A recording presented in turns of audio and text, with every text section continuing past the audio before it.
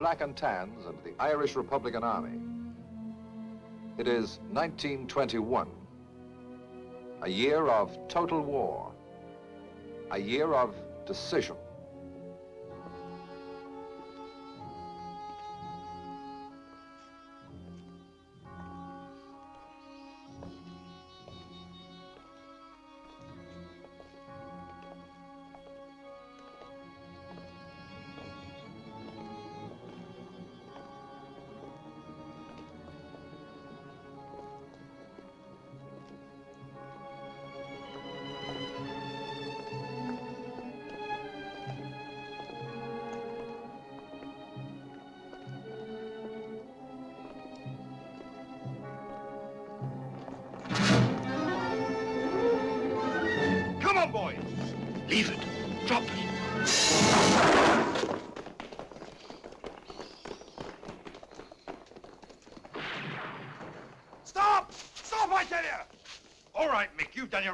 Day.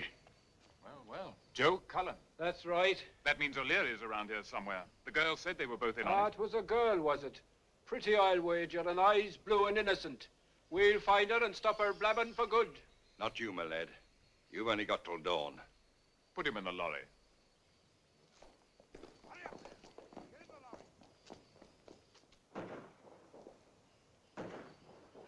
Please, sir. Please.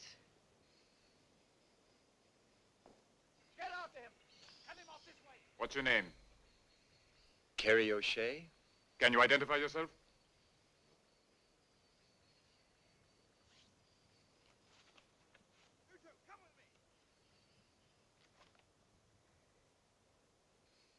Your parents?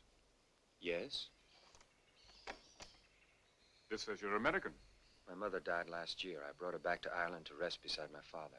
You've been here ever since. Rather a long visit, isn't it? I'm a medical student at the College of Surgeons. Ah. On Cork Street. St. Stephen's Green. Name of the Chancellor? Maitland? Sir Robert Maitland. Go on! Who are you? She's a friend of the family. We found these under the water. That'll be no O'Leary.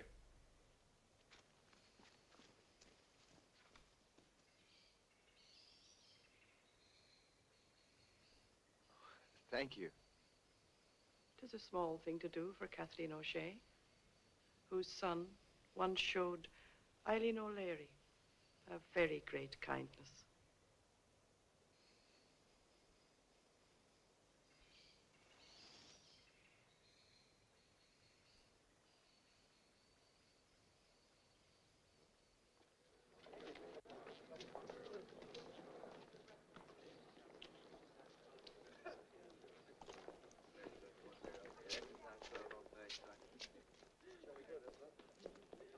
It'll be the firing squad if they catch him. Like it was for Joe Cullen this morning. Hey, Kerry! Where were you after so early this morning? Shh. Never mind about that. Well, a fine roommate you turned out to be. Why? Not a friend of mine who isn't talking about the, the American lad who struck a blow for the cause yesterday among the brave dead in Glasnevin Cemetery. And who is the last to hear of it? Myself. For a very good reason. I wasn't striking any blow for any cause. Well, what was it then? To make monkeys out of the Black and Tans? Eileen O'Leary on her knees beside you while her man gets over the wall. It was just instinct. I didn't have a chance to think. Ah, because you knew it was right. Look, let's forget the recruiting speech, huh? You followed the fine instincts of a true Irishman. American. Irish born, of Irish parents. Patty, I'm not going to join the organization. I told you that. I got all the fighting out of my system in France. What you're saying is that you don't believe in the cause. Let's just say I don't believe violence ever solved anything. but my heart's with you. What'll it take, man, to make you realize that your heart isn't enough?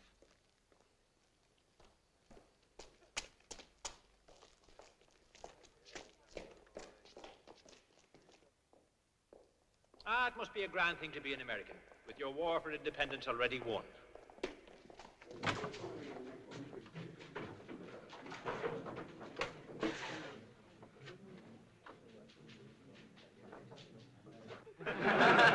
Here comes Lenihan.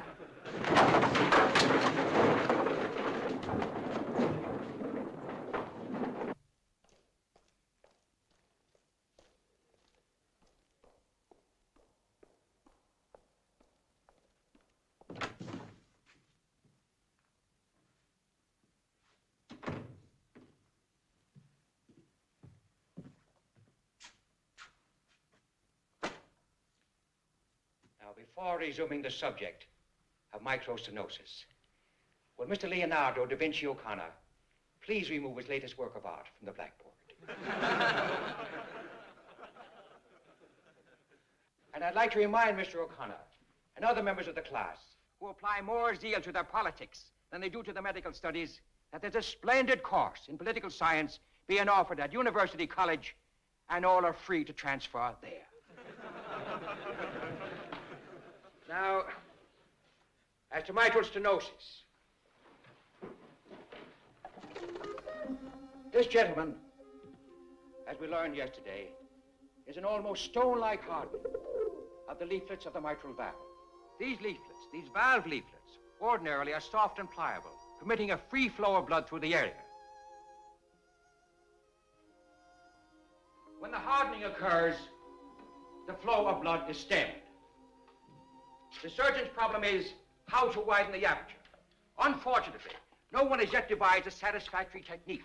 However, medicine is looking hopefully to the researches of a young man at this college, a student of natural history, who will undoubtedly find the answer in avid pursuit of what he does best. Bird watching. if you were my surgeon, Mr. O'Shea, and I were on the operating table with my life in your hands, I would not rest easy. Anesthetic and all, if a pigeon on a windowsill had more of your attention than my exposed inside. and now, gentlemen, if we have finally decided why we are in this classroom, the subject, as you may recall, is mitral stenosis. A man's nothing. He's nothing unless he believes in something. I do believe in something. What? Patty, tonight I believe in a red-headed girl, five foot four inches tall, in her bare feet. And I mustn't keep the poor darling waiting. You're hopeless. Hopeless.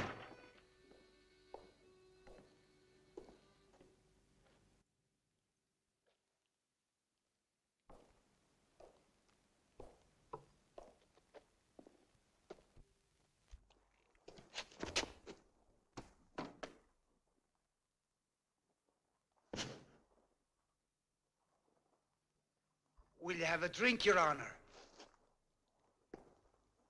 We report O'Leary was in here. O'Leary?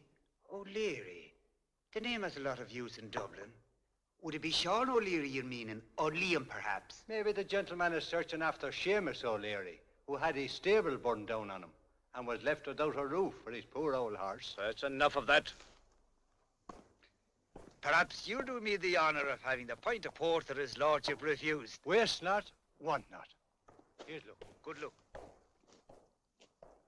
Let me get blood boil. Oh, now, Paddy. Oh, when a man can't enjoy a harmless pint without being spied on. Hey, you better save your voice. You got a report to read tomorrow. And, uh, don't wait up for me. You know, for a man of peace, you devote a great deal of time to the battle of the sexes. It's merely the study of the human figure. Very important for a doctor. Mr. O'Shea, has it occurred to you that when you're a doctor, you may have a male patient or two? No. But if I do, I'll just turn him over to my good friend, Dr. Patrick Nolan. I wonder. I wonder what Terence O'Shea would think to hear his own son talk like this. And him among the leaders when they captured the Hall of Records. And what did he get for it? A bullet in his spine. No, Patty, let's just say that one O'Shea is enough of the cause. Hey! You want us to widen the streets for you?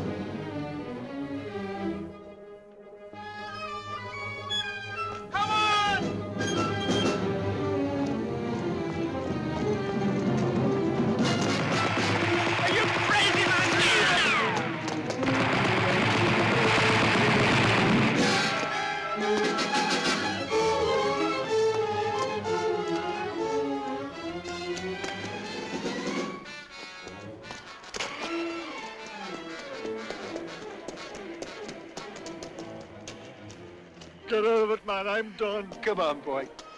Come oh.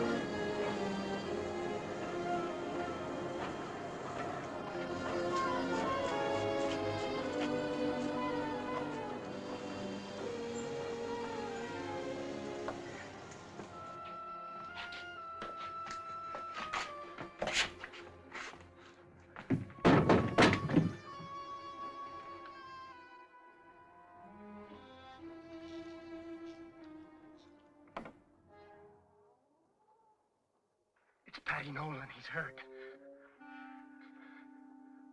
He told me to bring him here.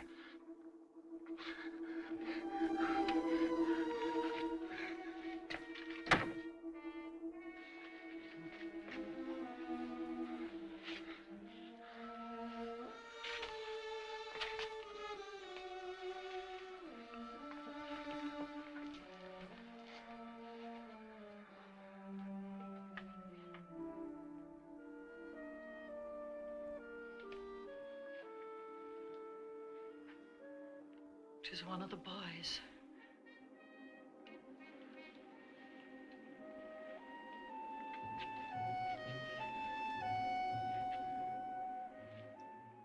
Tis the nice looking ones always get hit first.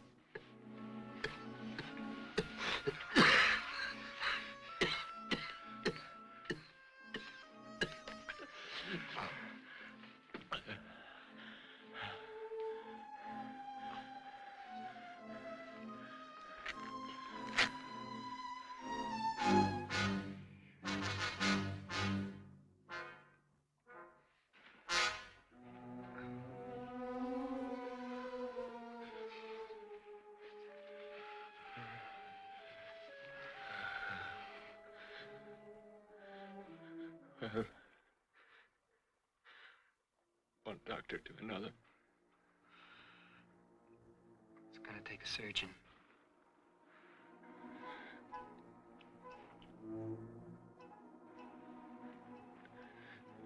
Get Benan. Manahan?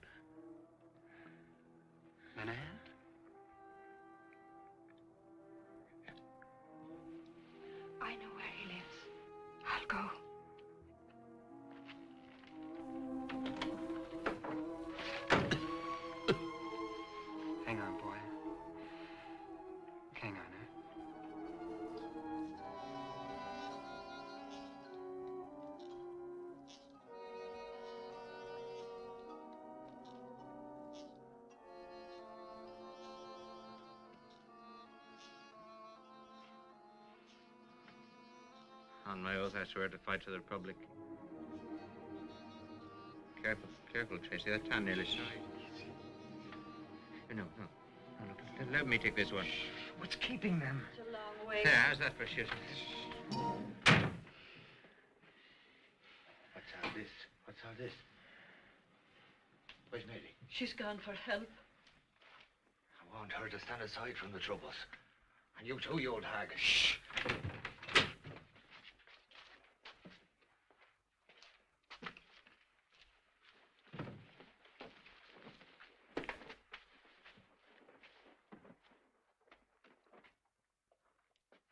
I told you to stay out of this. Clancy, the poor lad was hurt.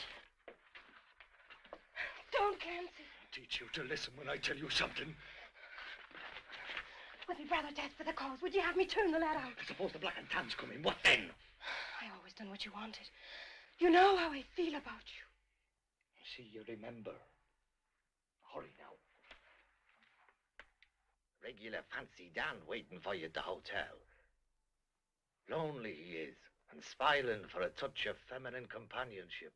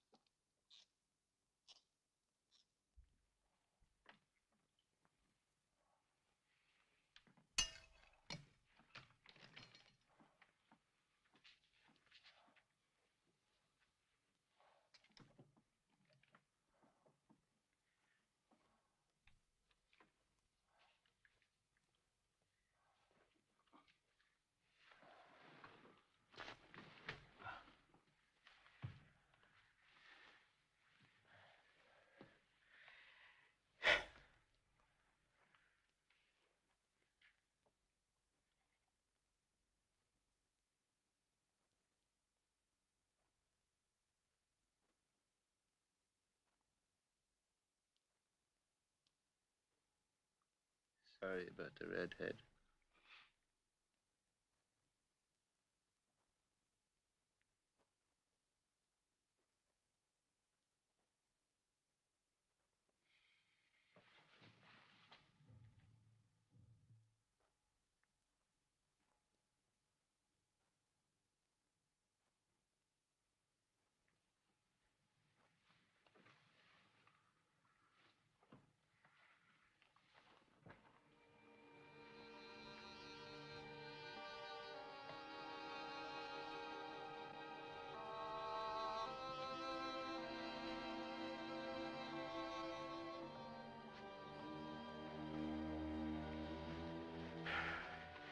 Were a poor student, Paddy Nolan, but a good soldier.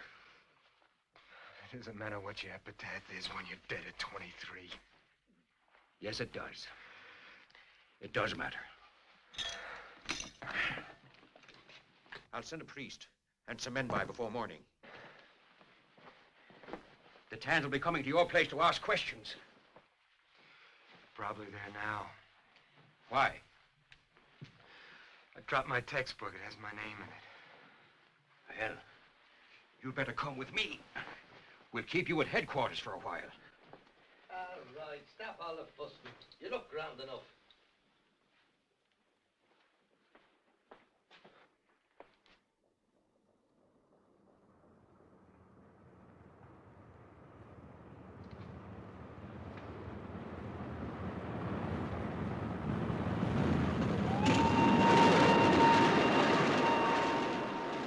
Don't come back. Ever. And not a word.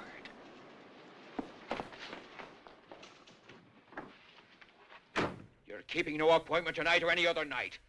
I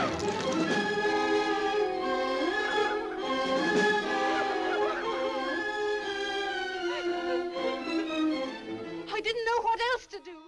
With me brother dead for the cause. How else could I look after her? Find some other way. Others have. You're fighting to keep Ireland a fit place to live in.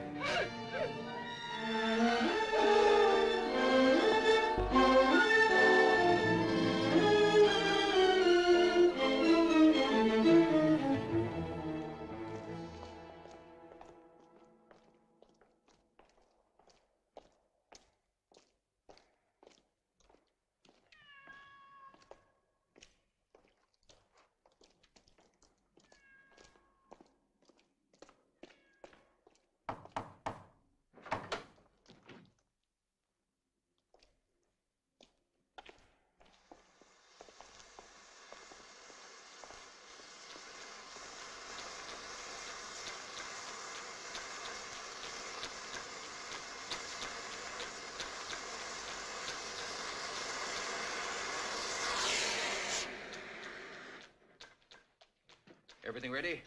Just waiting for the word, Commandant.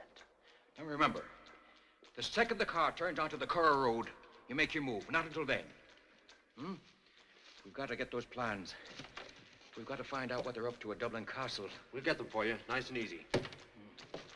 Dermot, Sir? you, uh, you'll go in Paddy Nolan's place. He was killed tonight. Are you ready, Jim? I am that. Well, get on with it then. We've lost enough time. Corby. Yes, Commandant? You, uh, you take Foley with you. And go to Agus Madigan's place. Paddy's lying there. What do we do with him, sir? Phoenix Park. Arrange for some boys to find him. Is that how you bury your heroes? It's no more than he'd expect. Or any of us dead for the cause. We're fighting a war. When you were fighting your war in France, and a friend fell beside you, did you stop to shed great tears over him? Was that why they gave you your medals? Oh. If we could, we'd bury him at Glasnevin with Parnell and O'Connell and the rest. With the flag of the Republic draped over his coffin, and flowers, his favorite hymn being sung. But we're underground. We have to take death as it comes, ugly and friendless. It's the living we have to think about now. There are two courses open to you, O'Shea. One is to join us, join the organization, help us in our fight. And the other? To get you out of Ireland. Back to America. I've I've done all the killing I intend to do. O'Leary, our young friend could do with a drink. He was in it with Paddy tonight.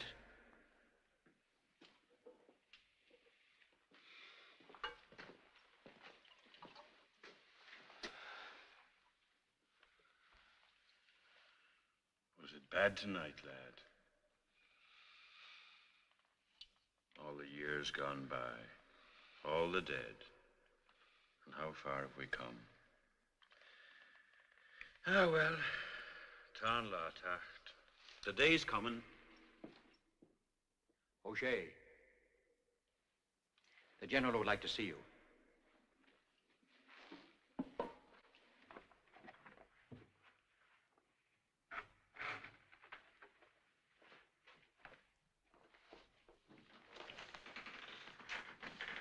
Well, you're Kerry O'Shea, are you? You're right, Sean. He does look like him at that. Taller than Terence was, though, wouldn't you say? But with the same stubborn look around the eyes. Oh, a stubborn man your father was. We used to fight like corner boys when we were children. Oh, many's the time we fought side by side when we were grown up and had something real to fight for. I've in mind the last time, the, the day of the raid, when your father got the bullet that was intended for me. He'd have bled to death right there on the cold marble floor if the commandant here hadn't carried him out, slung him over his shoulder like a fireman, with the bullets whistling around them.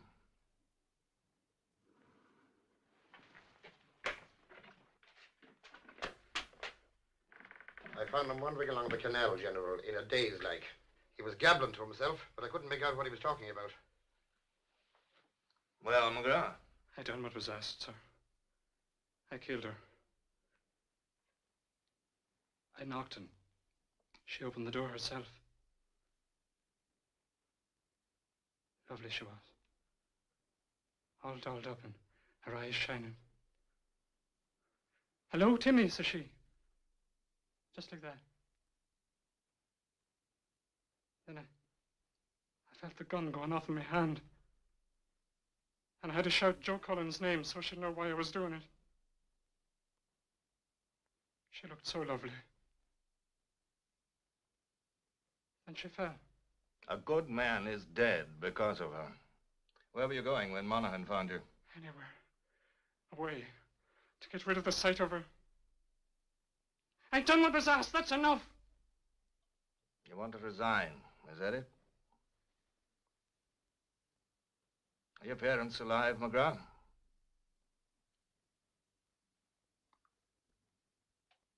Very well. We accept your resignation. As long as we know where to send your body.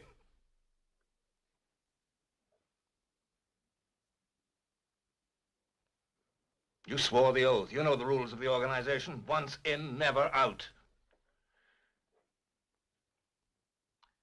Of course, you can always withdraw your resignation. Would you care to do that now? Yes, sir.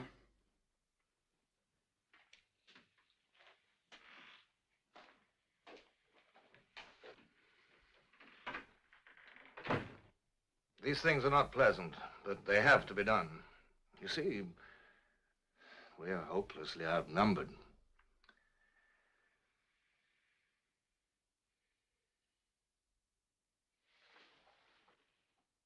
You've done us a service, O'Shea. We owe you something in return. You'll stay here until the Commandant can arrange to get you safely out of Ireland. If that's what you're wanting.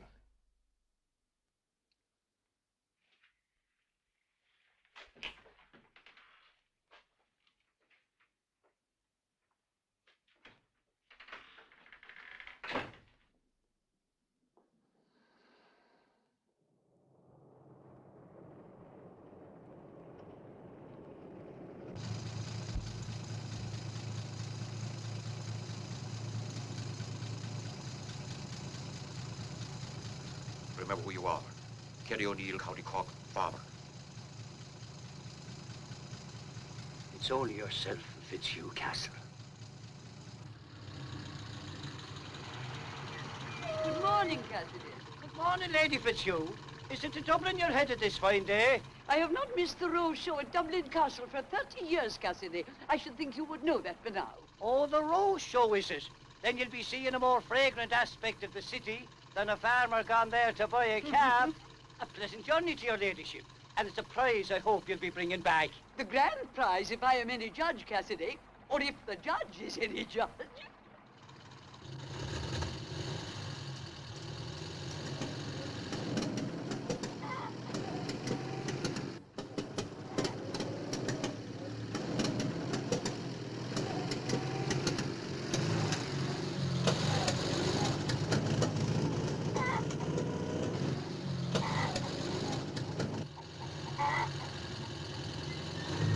Sean, you make good time. Chris Noonan, Terry O'Shea. Oh, yes. Yes, headquarters told us to expect another calf. He looks a good one. He's for the boat. Unload the truck.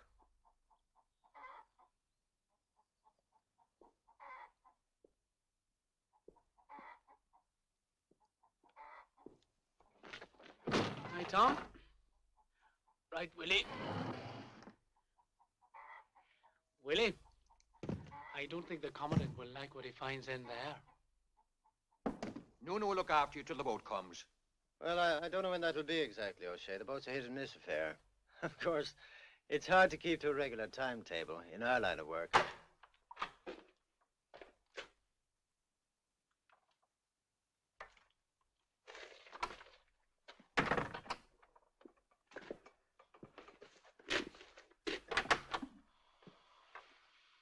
Get out. I'll tidy up a minute if you don't mind. Help the others with the truck. Is it a squad you're commanding here, Chris Noonan? Or a club for the gang of corner boys? Ah, sure. Sure, there's no harm in Kitty, Sean. May I remind you, you're all on the run? Every man here rates a fighting squad the minute he's caught. Well, I usually find Sean is that sort of man who's most in need of a woman's company. Her kind? And what kind would you suggest for the poor boys, Commandant? Is it those ladies from the organization that pour tea and make speeches you'll be wishing on them? They've taken the oath. They can be trusted. Trust them you can. I trust my own darling brother with any of those skinny frumps down a dark lane and no moon.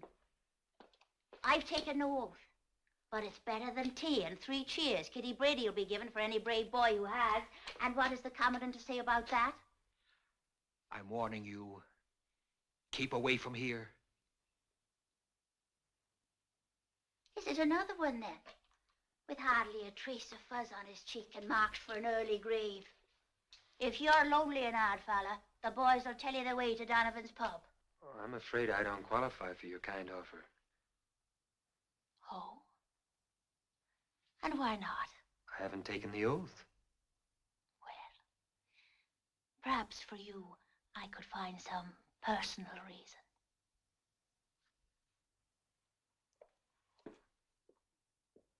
Cassidy's taking me back to Dublin.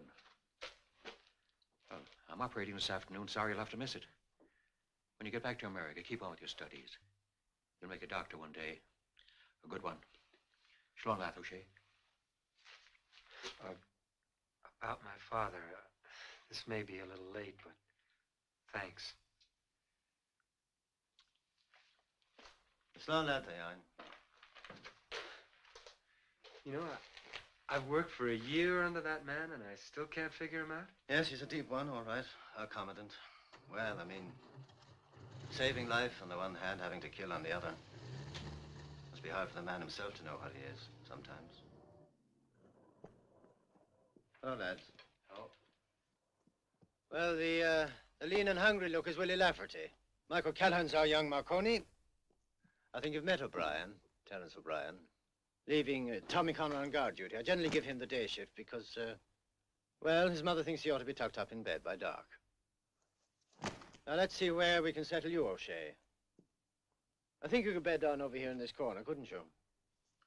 You'll be resting on the brave man's pillow, so you will. Aye, Johnny McCartan won't be needing it now. Well, I hope you're big enough to pick Johnny's boots. I'm afraid I won't get a chance to try. Uh, he doesn't belong to the organization. He's only here till the boat comes. Why is that now? He looks like a fighting man. Or is that just on the outside? That's enough, O'Brien. No, no, it's all right. Let him talk. Well, I was just thinking, I was just thinking, need men the way we do. This, this fellow looks strong enough to carry a rifle. Or is he afraid to leave an empty bed behind the way Johnny did? Leave him alone. Man. Most of his reasons. He's what? His reasons. Oh, reasons. Oh, he has his reasons, all right. And I believe we'd see those reasons if he took his shirt off and showed us where his spine used to be. I think you've said enough now. Listen to him now. Just now he was looking like a fighting man, and now he's talking like one. Ah, but I'm thinking. when it comes right down to it, it wouldn't take much more than a, well, than a breath of wind to blow him over.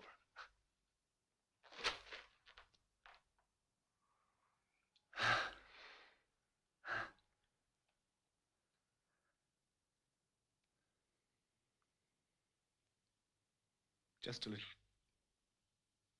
breath of wind huh? to blow you over. Huh?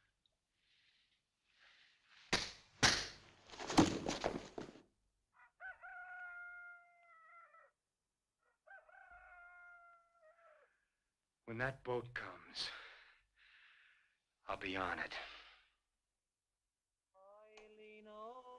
There's good fish in the sea, but there's none of them like the pride of Petrabone.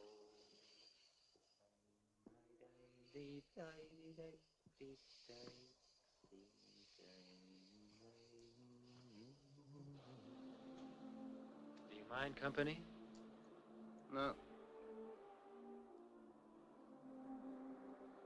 I wouldn't let O'Brien get you down. Do you think I'm running out? No, not at all. Why should I? After all, it's not your fight, is it? Besides, as far as you're concerned, by tomorrow night, it'll all be ancient history.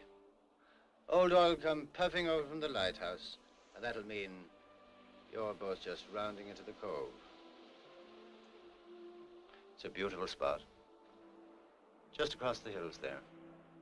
I go there myself sometimes whenever I can do a bit of work, just to keep my hand in, in case the killing should ever end. What is your work? Slim volumes of sensitive verse. You're a poet? Oh, worse than that. They're in Gaelic. Highly satisfying, but of course, completely unprofitable. Hmm, you look startled. Well, you, you don't exactly expect to find a poet with a rifle. No. Well, patriotism taps at all sorts of doors, O'Shea. It must have been a bit of a shock for the enemy, too. I mean, who could imagine the odd grubby fellow in the attic over Moses Street looking for internal rhyme? In Gaelic, too, mind you. Could be the same dirty rebel who led the ambush at Bray. And a few more before that. Unfortunately, my twin personality was brought to their attention. And here I am. On the run. Oh, it's not a bad sort of life, really. I've even come to be something of a farmer. Chris! Chris Noonan! You're wanted inside. O'Sullivan's a- after breaking out of Dublin Castle. But Liam O'Sullivan? Yeah. Are you sure? It's coming through now. Here, you take over, Willie.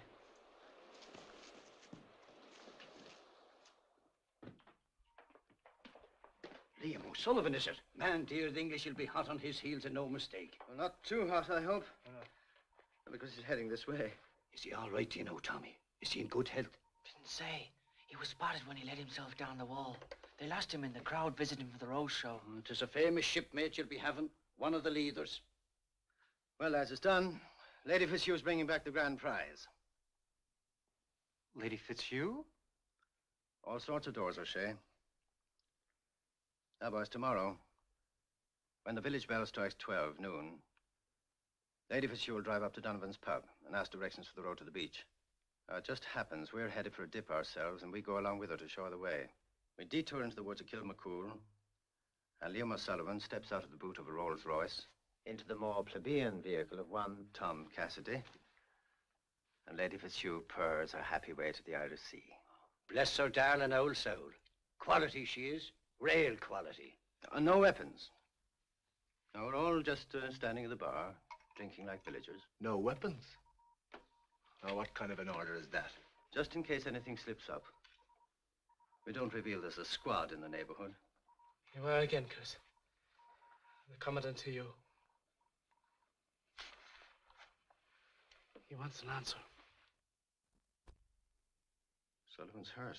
Chest wound. Lenihan's patching him up. It'll be a rough journey. You need attention straight away. O'Shea, if you say no, there's not a man here who'll hold it against you. I promise you that. Tell him I'll go.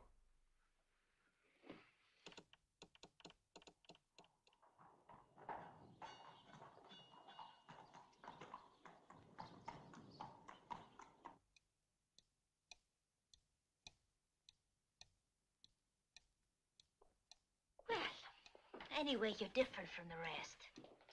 How? Oh, a whole day gone by and me looking for you to show up. Or didn't you notice me? Yeah, I noticed you, Kitty. Did you know that's better? They say you were studying for a doctor. You're the kind of hands to bring comfort to a body and make them forget their pain.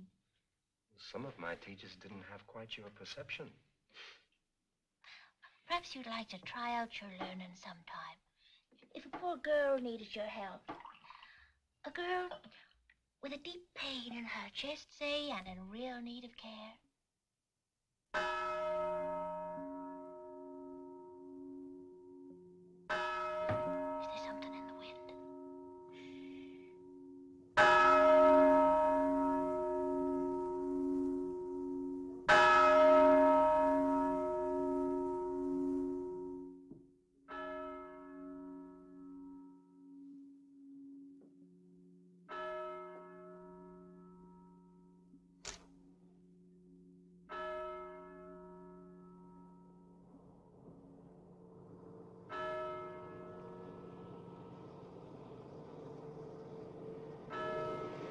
She's clever old girl. She give him the run for the money, all right.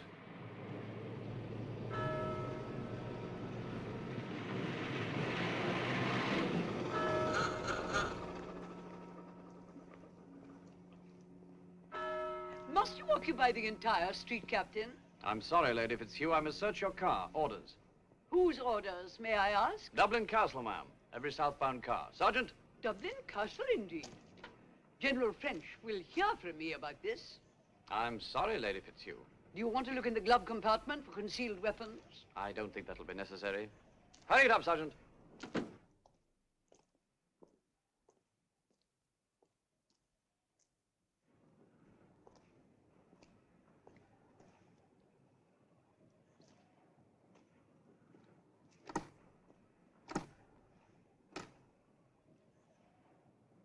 This is locked, sir. Have you the key to the boot, Lady Fitzhugh? No, I'm afraid I have not. Where is it, then? I have not the slightest idea. Would you like to accompany me home? It may be there. And if it is not at home, we can telephone the Rolls-Royce people in Dublin and have them send one out. I'm sure General French would give one of his dispatch riders to them, if he knew it was for me. I think we can forget it, Lady Fitzhugh.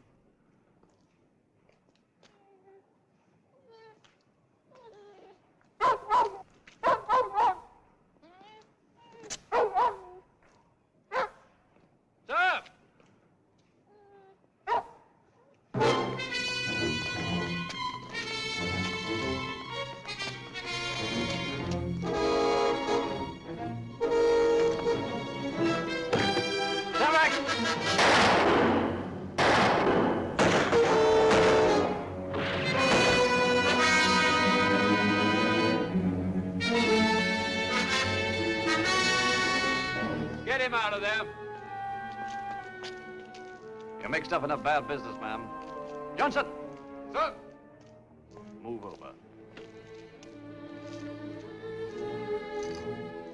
Dublin Castle. Sergeant!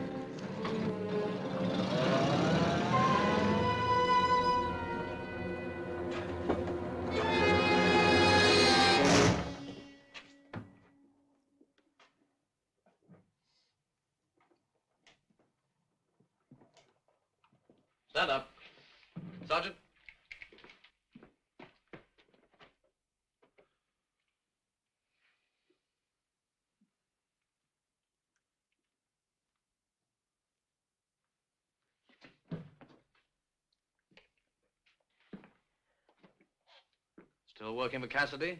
I, I am indeed, sir.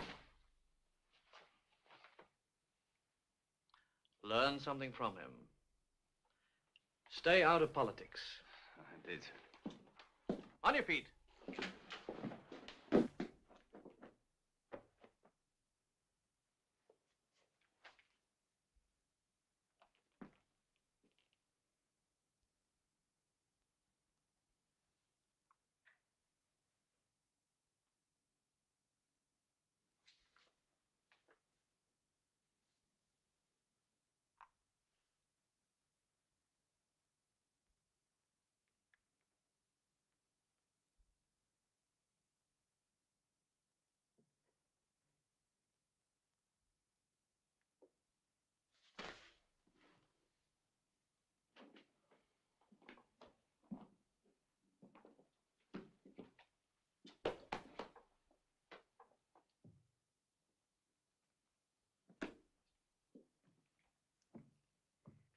Captain.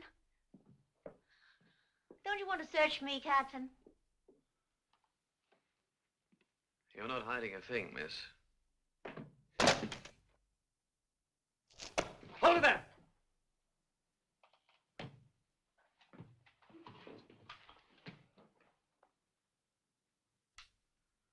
British Army issue. Where'd you get it?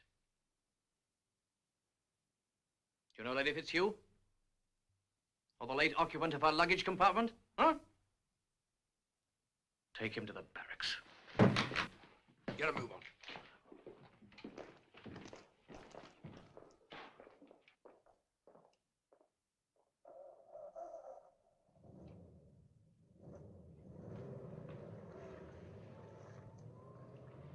Well, why not? Why not? Better him than me.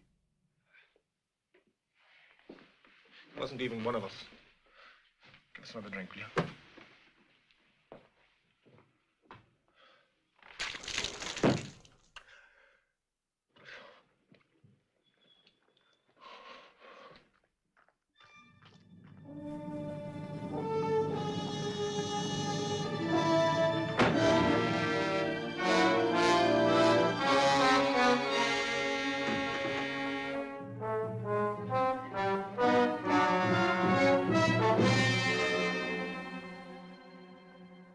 Many men in your squad?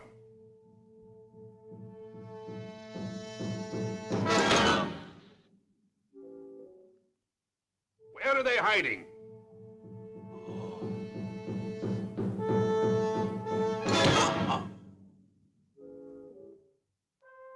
What's the name of your leader?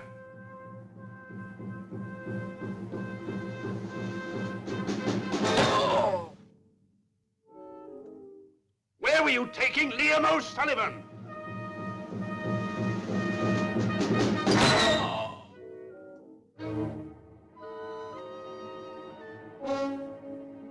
Revive him. He'll talk.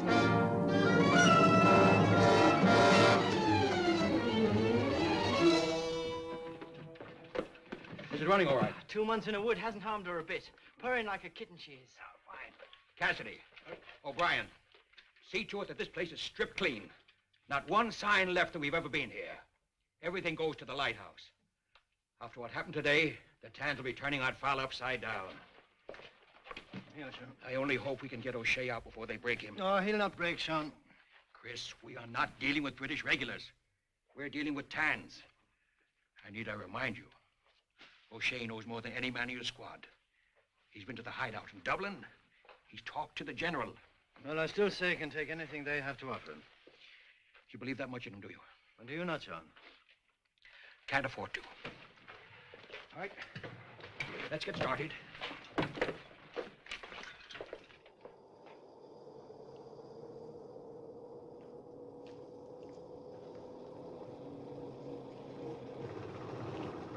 Evening, Corporal. Evening, sir. Captain Hill, your headquarters battalion. He'll take the prisoner to Dublin Castle. That's all right, sir. We had word you was coming.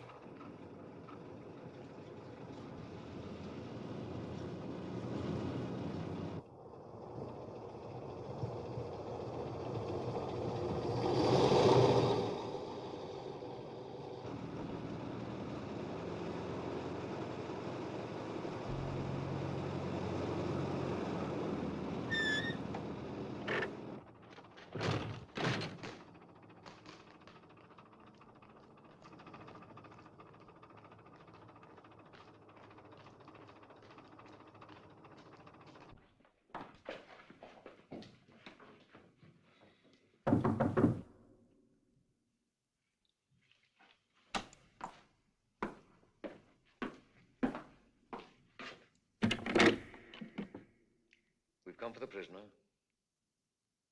Right, sir.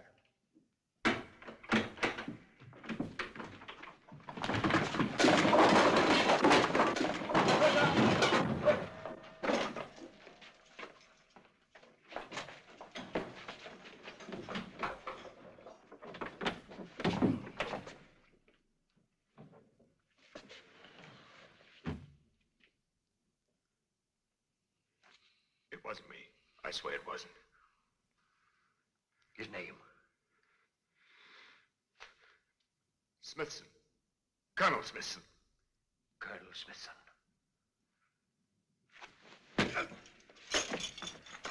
That's for standing by and watching it happen. Chris.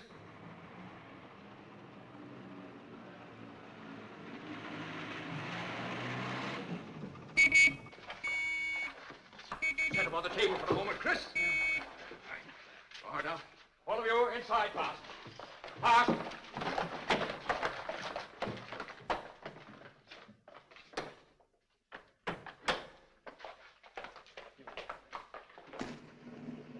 From Dublin Castle to pick up the prisoner. Your men just got here, sir. What? In the lorry, sir. You bloody idiot! Open that gate! Right, sir. I'm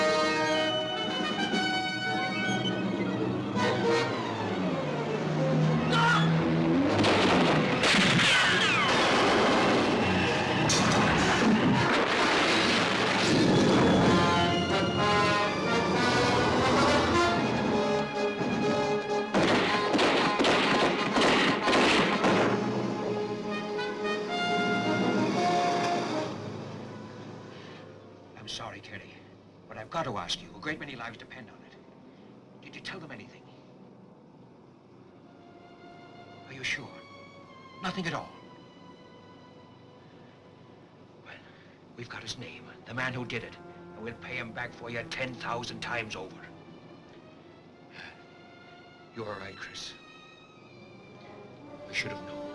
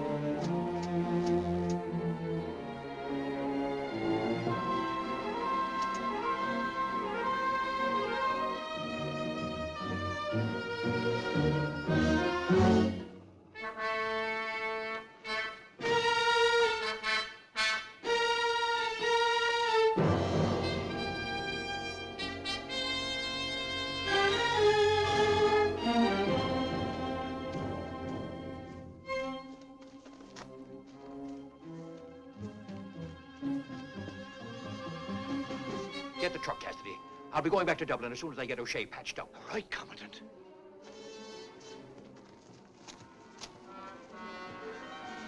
Commandant! What is it? Boat's coming in. Right, Doyle.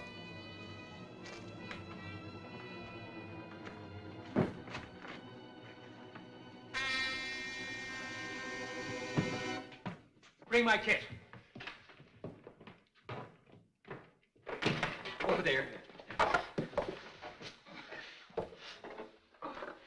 whiskey, Chris.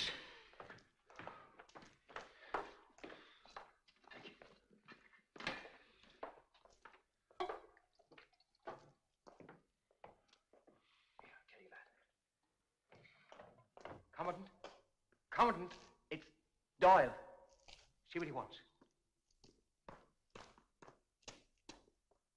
It's getting to be a habit of yours helping me, O'Shea's. For the last time. The boat's waiting.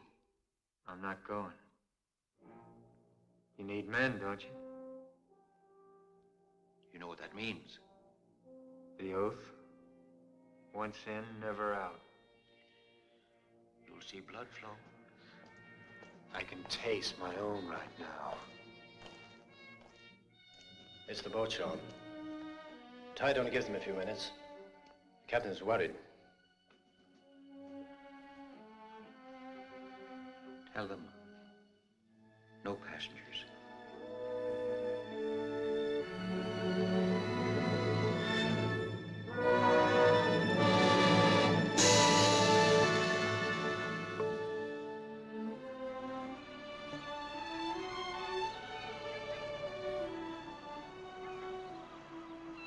It's not too much for you, huh? Oh, no, no, I'm fine. It's Not a very busy thoroughfare, this. Of course. That's its principal charm for us. Oh, once a year or so, somebody strolls this way. A pair of lovers, perhaps. A poet in search of a rhyme. The rest of the time, it belongs to the girls. Chris, when am I going to be needed? Ah, now, listen, you've only been a week. You mustn't start trying to run before your legs can carry you. Well, the thoroughfare's getting a little busier. Tommy Connor told me you were here. Uh, and who told you about the lighthouse? Cassidy sent me. Why didn't he come himself? He's being watched, like every man in Ardfala. The Tans are raking the whole county looking for the men Lady Fitzhugh was to meet. They're offering a reward for your names. Yes, well, rewards were offered before, and nobody talked. They might this time, Cassidy says. Well, why this time? The Tans are saying that unless you're all turned in, they'll take a hostage from every village. That sounds like Colonel Smithson, all right. I better get word to Lenihan at once. Will you look at what the murdering scum have done to you now? From the moment they took you, I never stopped thinking about you, praying that you wouldn't know too much pain. I thought about you too, Kitty. About me? Mm-hmm. When I thought I couldn't stand it anymore, I knew I had to get my mind on something else to tell them what they wanted to know. So I tried to think of something beautiful. And I thought about you. Well, you you don't have to say that if it isn't true. But it is true. It it could have been anyone. It's just that I was the last woman you happened to see. Well, whatever it was, Kitty, I'm very grateful.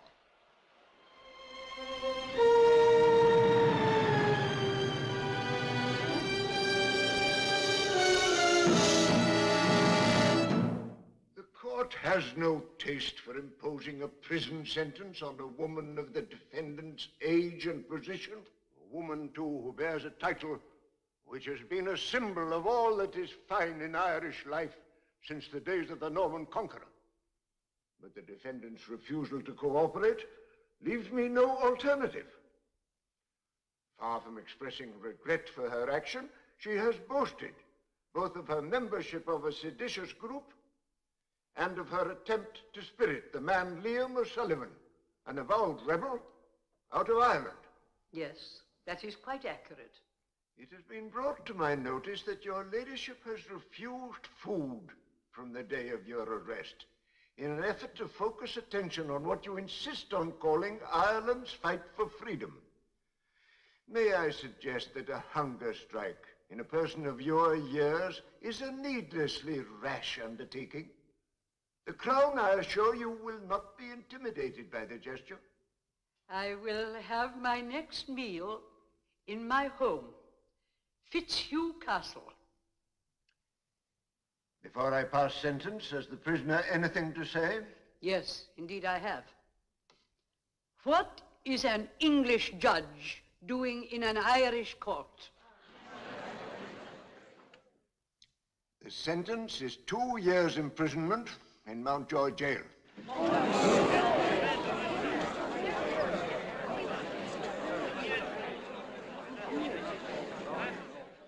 Was something to see. That wonderful old lady with a spine like a ramrod, willing to die for her beliefs. But the general isn't going to let her die. Lady Fitzhugh's next meal is going to be in her home, Fitzhugh Castle, where she belongs. You mean we're going to take her out of Mountjoy? Oh, O'Brien, if you weren't such a superb man in a fight, I'd have you committed. We could as easily raid the Bank of England itself. Well, how then, Sean?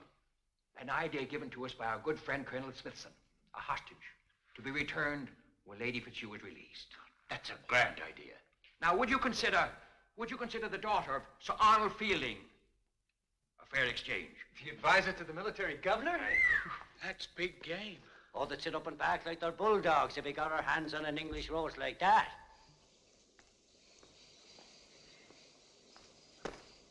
Ah, well, I wish I could come with you, my dear.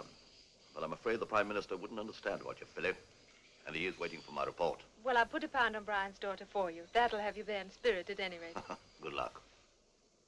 Goodbye, Father. Makes me happy to see you getting out again, Jennifer. Enjoying yourself. Sorry to put you to all this trouble, Captain Fleming. Trouble, ma'am? I'm sure the Army has more important duties for its officers. I can't think of any, ma'am.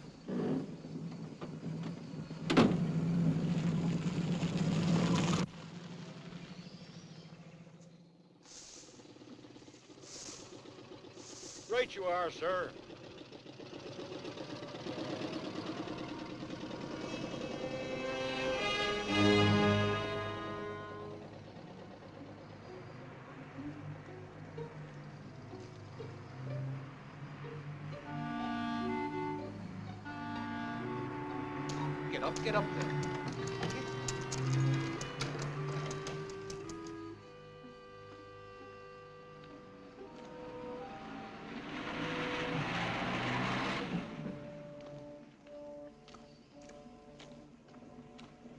Sorry, sir. The donkey has the right of way.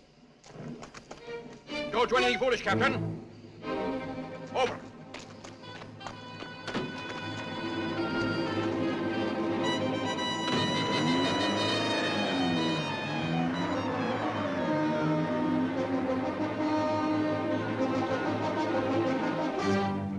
I'll do anything you say. Just let Mrs. Curtis go. I'm sorry, Captain. It happens to be Mrs. Curtis we want.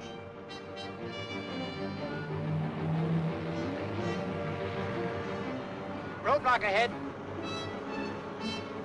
I hope we understand each other, Captain.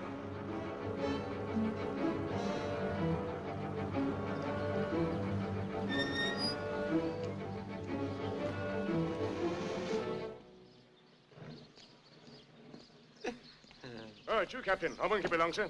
Thank you, Sergeant.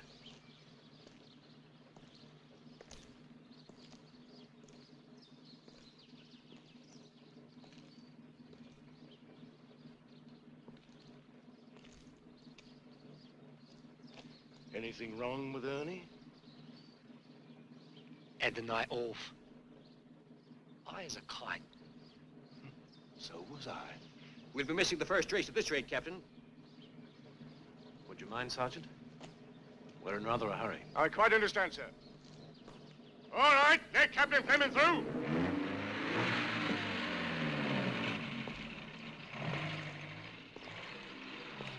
Ernie's been up to his tricks again. The captain's going to drive on the 28th. 28th? That's funny. What's so funny about it? Well, the old lot pulled out last month. India. Must have left one bloke behind. Blimey. Hey there! Stop that car! Aim low! Aim for that tire!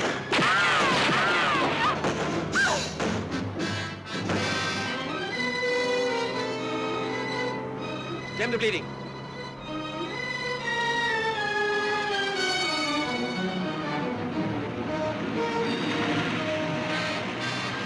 Out.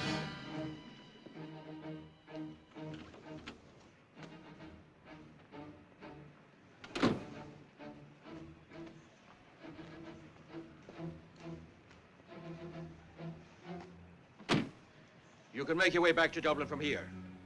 And tell Sir Arnold the Lady Fitzhugh is returned to her home for good, he'll see his daughter again. Have you men no feelings? Can't you see Mrs. Curtis needs medical attention? No, there's no need to worry, me lad. She'd have the best surgeon in the college tending to her. Give your tongue a rest. Why don't you give him my address, too? You just cost the captain his life.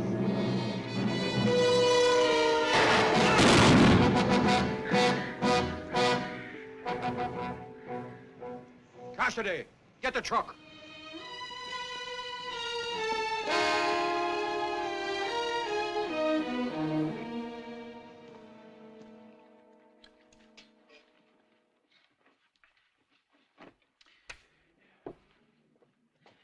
Have been a ricochet. Half an inch higher, and it might have pierced the jugular vein. Hit the clavicle? No. I appear to have been lucky. This is going to be painful. The only thing we have to offer in the way of an anesthetic is some whiskey. I don't believe Lady Fitzhugh was bargaining for her comfort. As you wish. I, I think you'd better hold on, Mrs. Curtis.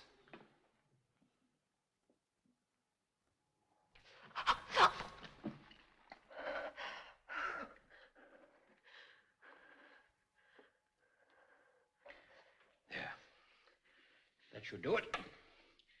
Clean dressing every day. And watch out for any signs of infection. I suppose this makes you both feel like doctors again. Instead of murderers.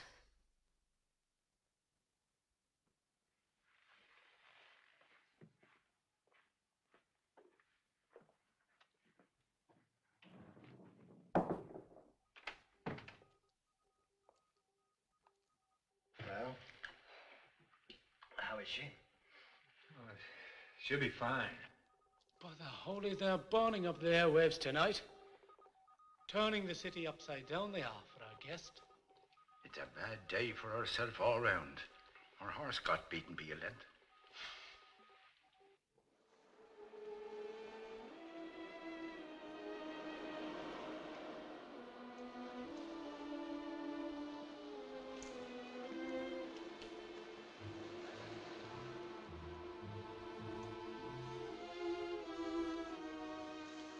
What's troubling you, Kerry? The captain?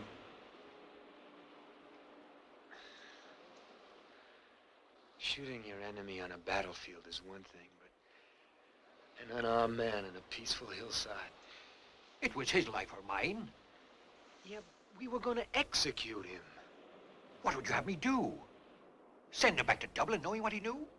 How long do you think it would have been before they were pounding on the doors of the College of Surgeons? Oh, Kerry. In time, you'll come to believe as we do. We're not fighting faces.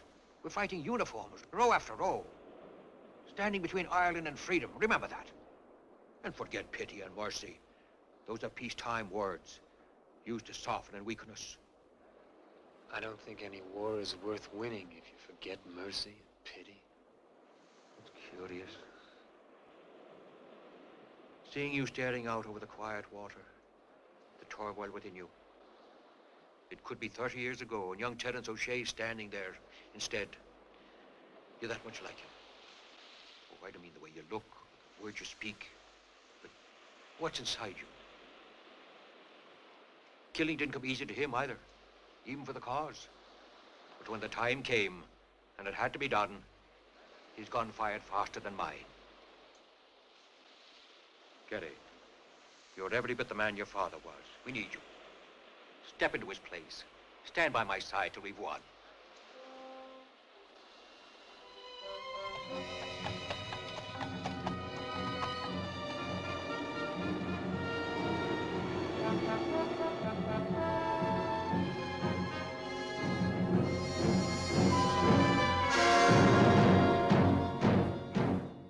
Well, gentlemen, it all comes down to these two scraps of paper. A letter from the rebels demanding a prisoner exchange. From the doctors at Mountjoy Jail, a report that Lady Fitzhugh continues to refuse nourishment and will probably live no more than a fortnight. Why not send the old girl home, sir? Surely if we keep an eye on her, she can't do us any more harm. Except that it makes us look like idiots. If you want my opinion... I may, General. Yes, of course. I want it clearly understood that I am only here as a representative of the Crown, not as a father. Thank you, Sir Arnold. It seems to me that if we knuckle under now, it's a dreadful loss of face for England. I'm not sure that that would be quite as bad as the drubbing that our prestige is taking. Prestige. Pah! Do you wish to elaborate on that exclamation, Colonel Smithson? What do you think happens to our prestige if we let ourselves be beaten by a senile old woman and a pack of cutthroats? My men were sent to Ireland to do a job.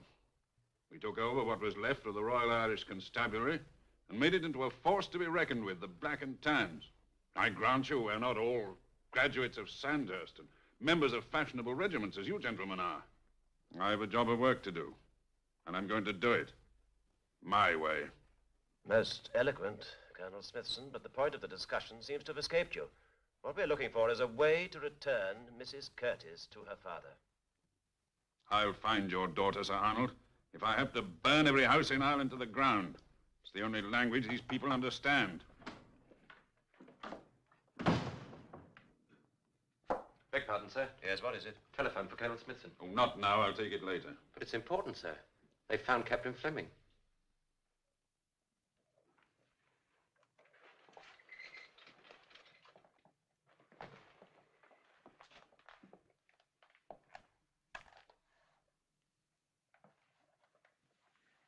There's a bare chance he might live. He's lost a great deal of blood. I must talk to him. He's very weak, Colonel. He's also a soldier. Captain Fleming. Captain Fleming.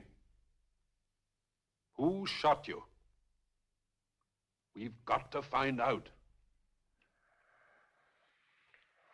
So you see, gentlemen, what appeared to be a routine appendectomy turned into something a lot more complicated. But you may profit by what happened here today. Whenever you operate, keep an open mind. Always be prepared for the unexpected. And make certain that your patient doesn't recover from your surgery only to die of a condition you overlooked. Which of you is Sean Lenihan? Nurse, advise the officer this is not a public house. Every minute he and his men remain in this operating theater, the patient runs a risk of fatal infection. Captain, you'll have to wait in the corridor. As long as there's no other exit.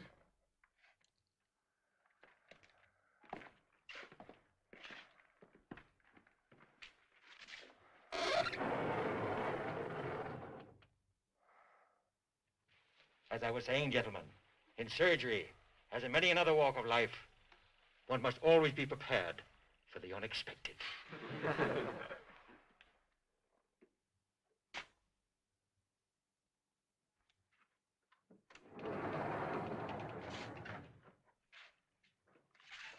Just a minute. Remove your mask.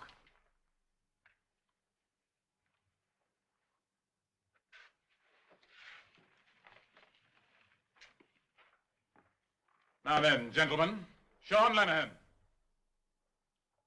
Remove your masks. Summers.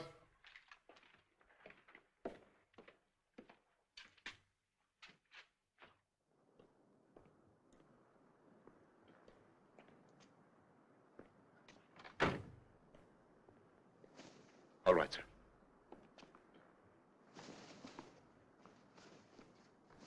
This way, sir.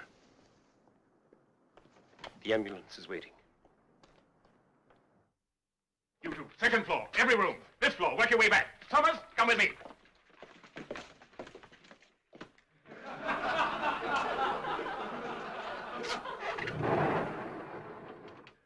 Well, Sean, looks as if you'll have to stay here in the dark for a while, along with the rest of the moles. Well, it had to come one day. Now, what about our plan for Colonel Smithson? He's an elusive man, our colonel, but I think we've got him this time. Ashtown Dock, the 10th. He'll be there to see Lord Crandall off to England. Mm-hmm. I'll come out of the dark for that. With Smithson out of the way, perhaps we can all walk in the Dublin sunshine again, for good. What makes you say that? There's great news, Sean. Peace feelers from number 10 Downing Street. They're talking treaty. What kind of treaty? Peace, with honor. A republic. A free state. Dominion status. Is that what we've been fighting for? Sean, both sides must bend a little. We'll be ruling ourselves at last after 700 years. But still tied to England's apron strings. That's not peace, that's surrender. It's a start. The Republic will come later. I warn you. Five out of ten men in the Republican Army will spit at peace on those terms. If you sign that treaty, it'll be Irishman against Irishman. Civil war bloodier than this one. And where would you stand, Sean?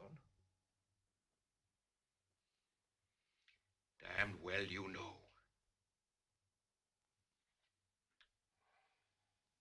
We'd fought shoulder to shoulder for so long. They wouldn't like us to end up pointing guns at each other. Then don't settle for anything less than the Republic. Why do you think they come crawling to you with their peace feelers?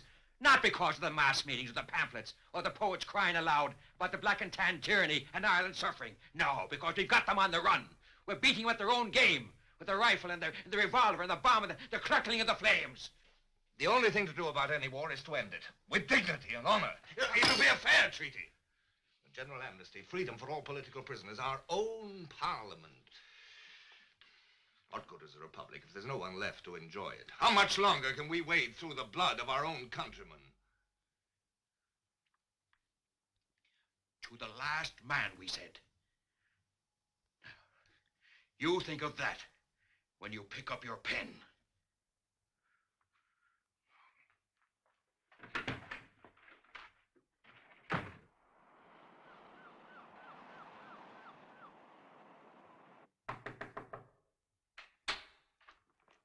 Good morning. Well, how are you feeling today? Any pain? You're asking as a doctor? No pain. Good. Let's have a look at it. I can manage that myself now, thank you. Oh, that's a good sign. You sound very cheerful this morning. Did you shoot another British soldier? Hmm, that's coming along fine. I think we'll just leave this on for today, and tomorrow you can do without a bandage. A little fresh air will do it more good than anything. Perhaps you can arrange to have some sent in. Perhaps. By the way, was Captain Fleming anything special to you? Not until you killed him. You might like to know that he's alive. He's in a hospital in Bray. Oh, I'm so. Fortunately, I'm not the crack shot I thought I was. Why did you say fortunately? This might surprise you, Mrs. Curtis, but I don't exactly enjoy killing people. You're trying to convince me that you're civilized human beings after all? Just because a man's a rebel, that doesn't make him a savage. I'm afraid I have good reason to believe otherwise. As my husband wasn't quite as lucky as Captain Fleming. Yes, I, I heard about that. I'm, I'm sorry. But how generous of you to extend your sympathy to the enemy. Then it isn't too much to hope that you'll be sorry for me as well. For you? I've no illusions about what would happen to me if Lady Fitzhugh were to die. Tell me, how is it done in the rebel army? Do I face six brave soldiers with rifles? Or do you draw straws and let one man do the job and conserve precious ammunition? You're just being held here as an exchange hostage. If Lady Fitzhugh were to die, you'd be released immediately to your father. Do you expect me to believe that? Why not? Because I've seen your commandant and the look in his eyes. You won't be harmed. You're a soldier. You'll do as he tells you.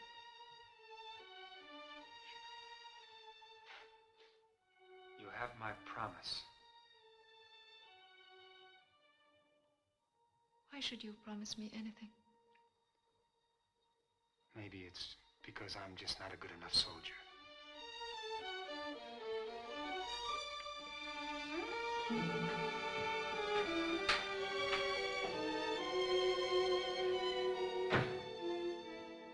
Any news yet?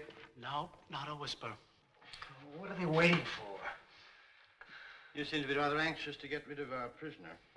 I don't like to see anybody cooped up like an animal. No, especially a raven-haired beauty like that one, I'm thinking. Don't be an idiot. It's a lunatic way of fighting a war. Up in Dublin, a silver-haired old lady, wasting away in a martyr's cell. And here we keep a girl whose only crime is that she's the daughter of an important man. It's, it's lunatic. Tell me something, Chris. Yes, what is it? If Lady Fitzhugh dies, what will Lenihan do? Well, now, I wouldn't think about that, Kenny, if I were you. Not until it happened.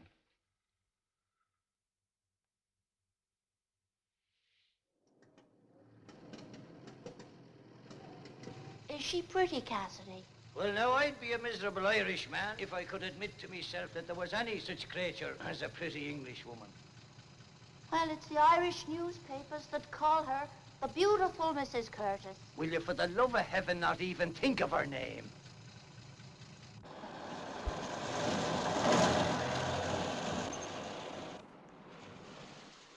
Wouldn't your commandant consider this against orders? There's no specific order against having a breath of fresh air. What if I try to escape? There's just one way. I see what you mean.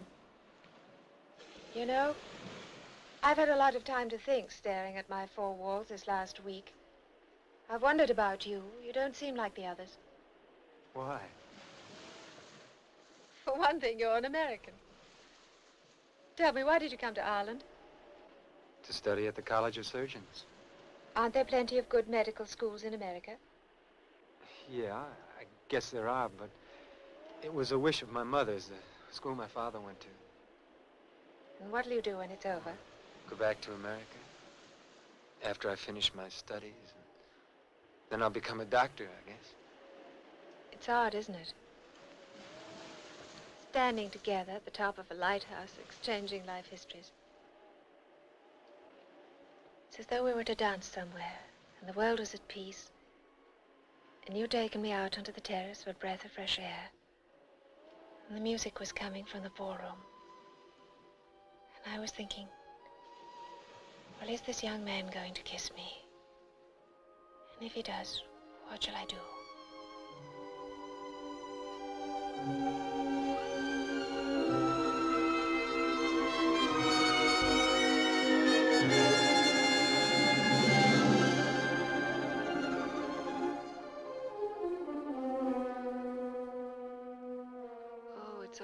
Hopeless and confused. We don't belong here, you and I. You're a doctor. You're not meant to be killing. But we could get away. I know my father would help us. He'd see that you got safely to America, and then I could join you there. Anyway, just as long as we're together. Please, take me away from here, please.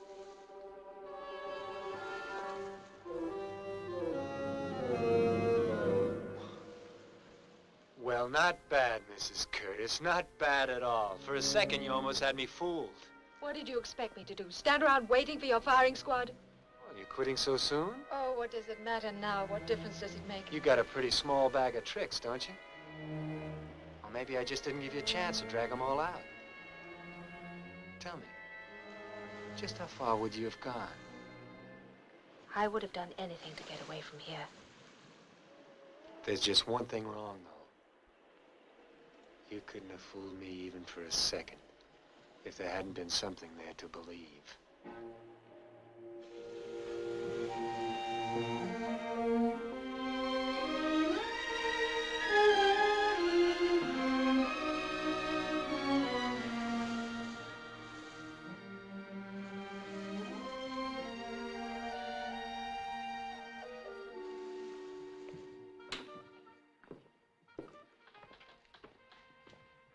Oh, Kitty. You brought the things all right. That's very kind of you. Anything for the cause, even if it's only a few bits of cloth. Mrs. Curtis, we've had some clothing brought for you. Meaning you expect me to be here for a while?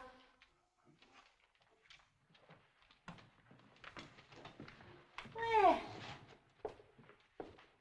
we'll have her looking like a barmaid in Donovan's pub in no time. Well, nothing here fit for a party at Buckingham Palace. But they'll cover you.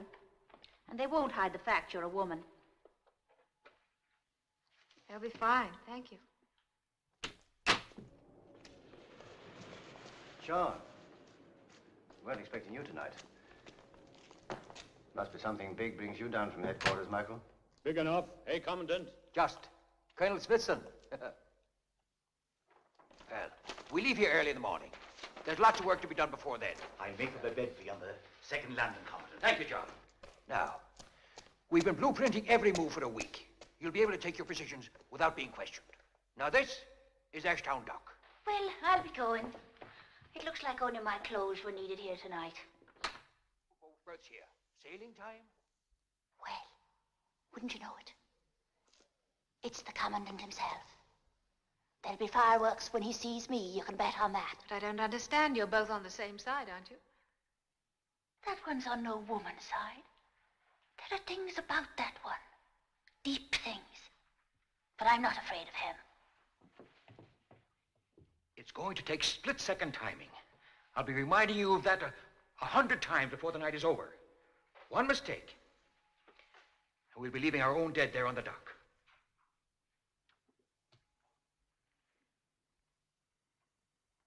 Chris, you had your orders.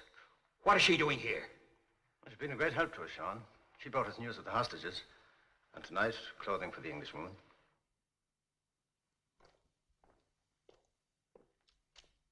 How long have you been standing there?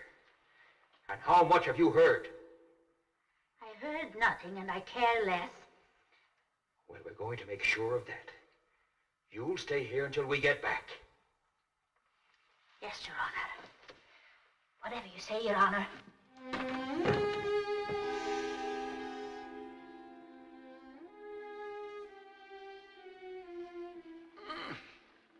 All right now. Once again. I'm on top of the crane over there. I push my dolly from there to the gangplank. Only I, uh, I don't quite make it. And I'm, I'm here to see the gates aren't closed till we get out. And I'm over there on the other side of the gate. I'm waiting here with the motor car running. That's me, a docker, waiting to tie up a bowline. I'm on deck there by the gangplank. I'm checking the cargo as it goes up. Uh-huh. And I'm the dock foreman. Now remember, remember, it's Colonel Smithson himself who gives us the signal.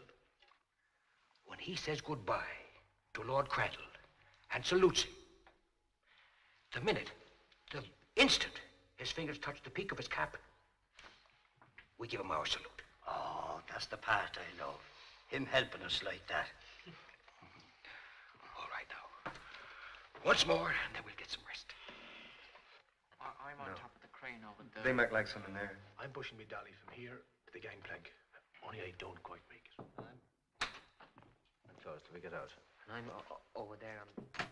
It occurred to me you might like some tea. You must have been reading me mind.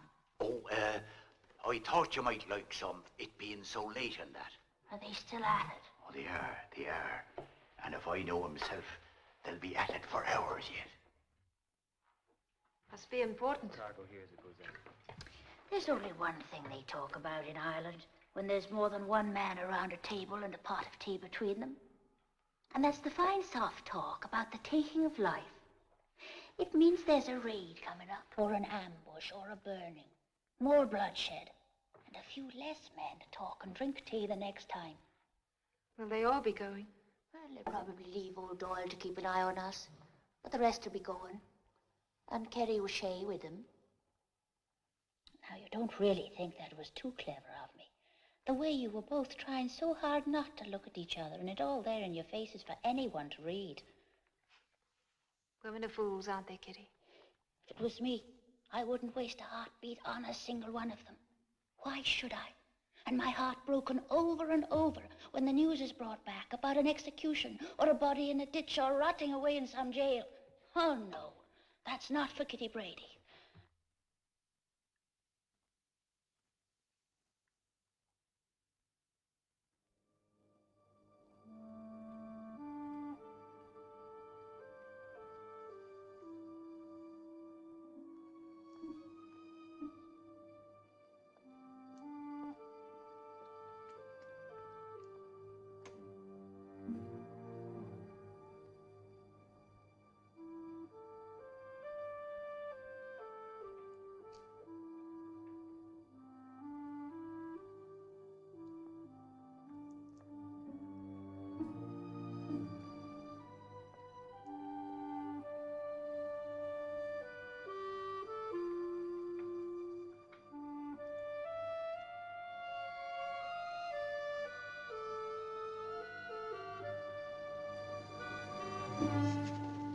You trying to frighten me out of my wits? Now, where do you think you're going to? To the beach, that's all, for a swim. Oh, for a swim. Or maybe planning to meet Kerry O'Shea, huh? If I was, he'd have to get past you, wouldn't he? Now, I give you my word, I'll be back. Well, now, if if you were to give me a little more than your word. Why not?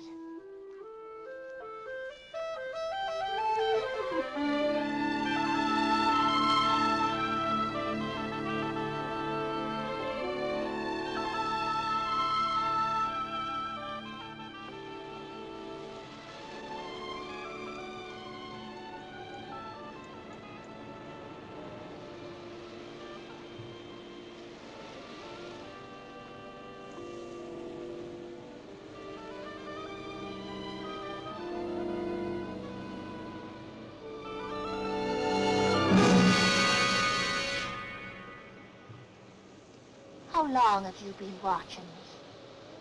Just long enough to make sure you're not thinking of leaving us.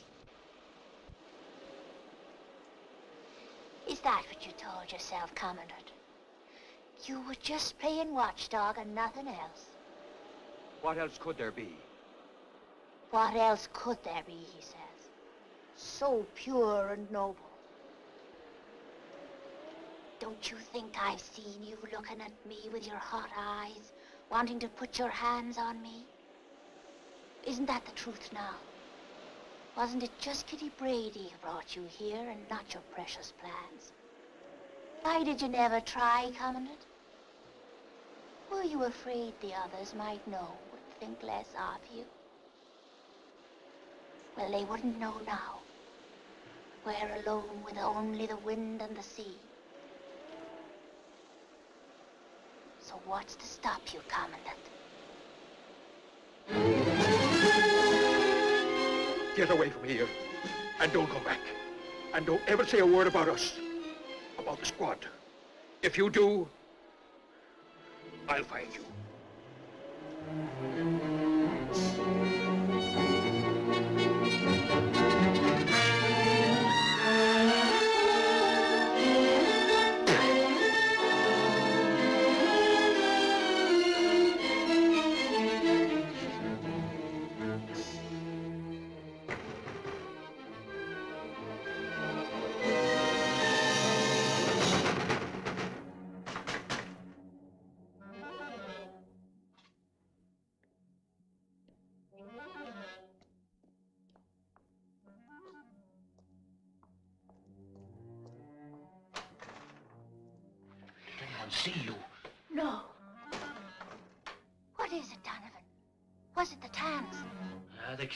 In here and, and wrecked me place. And they beat me up for a liar when I couldn't tell them where you were. Me? What did they want me for? They searched every cottage and farm in Ardfala. Now, you and the boys at Cassidy's were the only ones gone. So they know now that you've something to do with them. What am I going to do, Donovan? I'm not strong. And I know what they're like when they want to find out something. I might tell them. Kitty, keep a hold of yourself. Now listen, you'll be all right. Now listen, first thing tomorrow, McSweeney comes by to deliver the stout. He's a good man. He'll take you to Dublin with the barrels. Go to Ashtown Dock. Ashtown Dock? Take the Liverpool boat. My sister's over there. You can stay with her for a while. No, no, Donovan. Don't be a fool, child. You'll need the money for your ticket. Boats aren't free. God reward you, Donovan. Uh, sure, it's little enough to pay the Tans back for all this.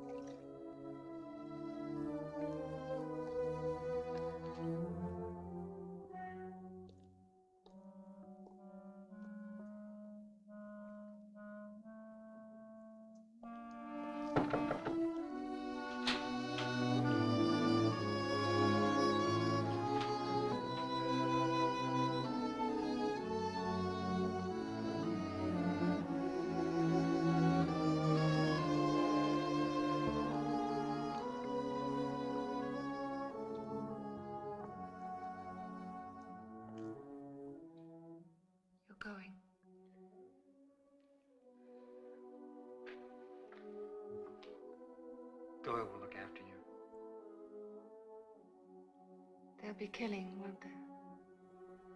Yes. I've a feeling we'll not see each other again. Does that matter? I don't know.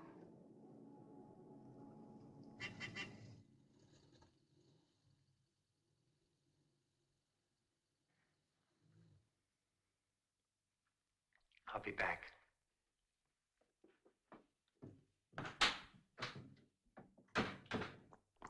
Sean, is it true what Michael just told me? What did he tell you? That this might be the last ambush. There's talk of a treaty. Treaty. The talk of traitors. Willing to sell Ireland out to the enemy. There'll be no treaty. No treaty until we get what we've been fighting for. We'll keep the flames crackling till we've killed every traitor on Irish soil. But we haven't got all day.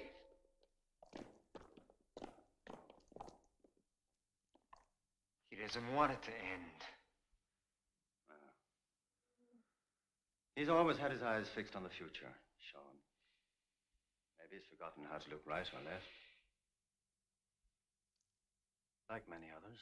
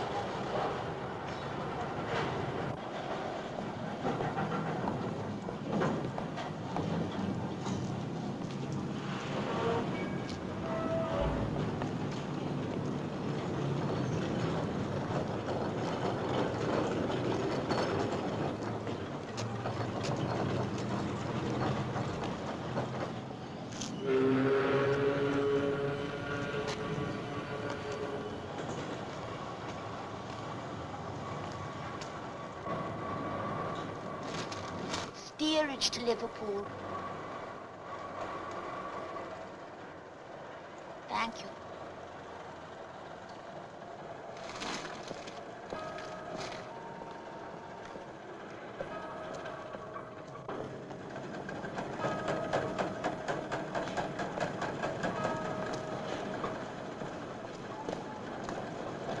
Just a moment, miss.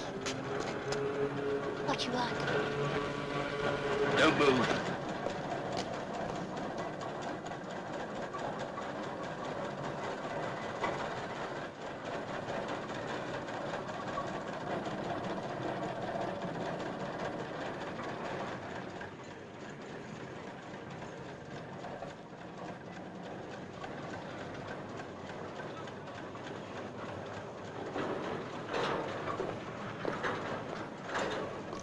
Well, Kitty, I trust it wasn't too uncomfortable riding among those barrels. I haven't done anything. Where are the others? What others? Were they finding it a little hot for them in Ardfella? Huh? Perhaps they're all taking a sea trip to find a cooler spot. I don't know what you're talking about. I was only going up. I tell you. I tell you I'm alone. I only came here to go to Liverpool. Arrest that man! Turned us in. What do we do?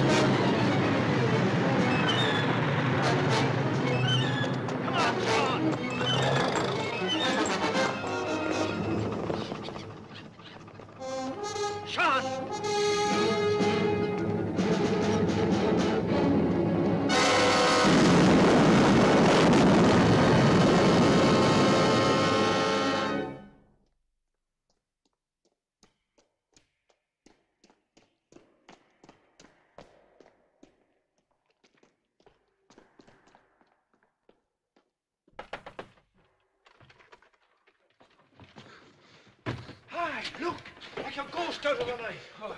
I thought you were done for. Hey, Kirby, get some whiskey. Glass is down now. Here, lad, take these.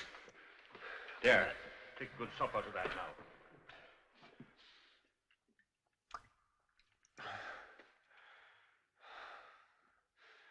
How many did we lose? O'Brien, Tommy Connor. And Kitty Brady. Yes, this was bad. But it's all over now. Over? Yes, it's the truce, man. Just waiting for the general's signature. Tomorrow we're all free. Free to vote for the men of our own choice. Aye, and against them if we wish. Oh, it's you, O'Shea. Well, I'm happy you made it. General, General, tell him about the truce. I'm off to London with a safe conduct. By dawn, the fight will be over. Michael, go down to the lighthouse, fetch Mrs. Curtis, return her to her father. I'll do that, General. This day has been a long time coming.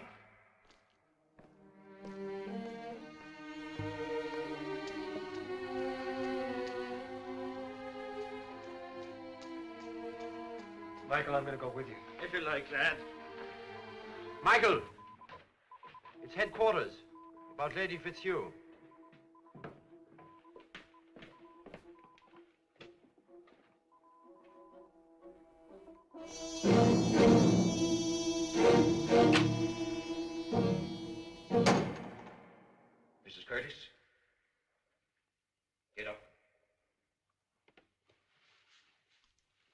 What is it? What's happened? Lady Fitzhugh is dead.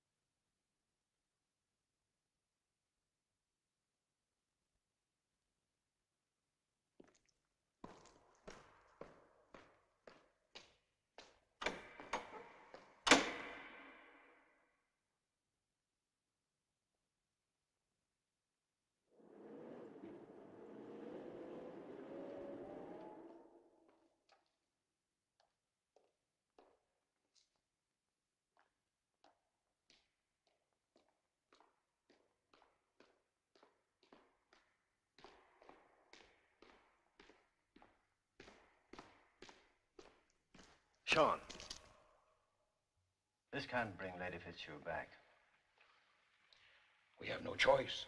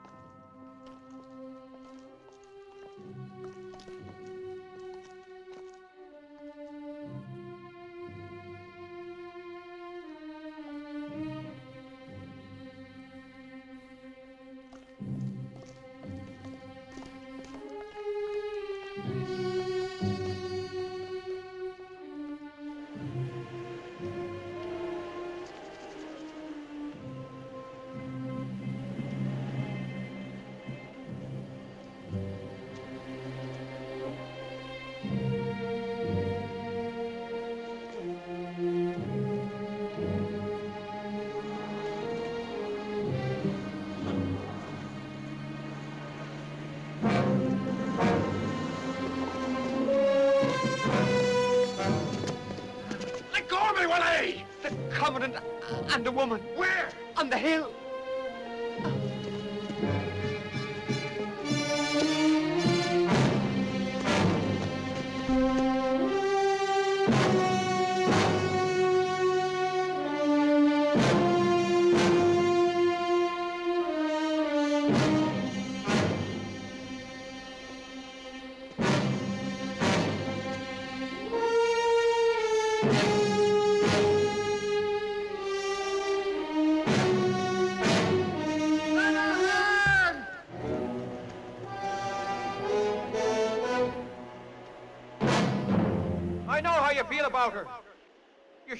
To see it happen. It isn't going to happen. There's a truce. They've gone to London to negotiate a treaty. If they sign, they'll die like anybody else. And you'll fight a war of your own. Your own private little war. If I have to. Just to keep the bullets flying. You've forgotten what you're fighting for. It isn't Ireland or freedom or any of those fancy words you use to excuse yourself. It's just killing now for the sake of killing. I need men. We'll go to the west and build a new army. Are you with me, Noonan? Ah, Sean, a treaty could mean peace. Lafferty. O'Callaghan. Tom. Tom Cassidy. You traitors. Traitors, all of you. But I'll take care of you when the time comes. Right now, I'll know of debt to Lady Fitzhugh.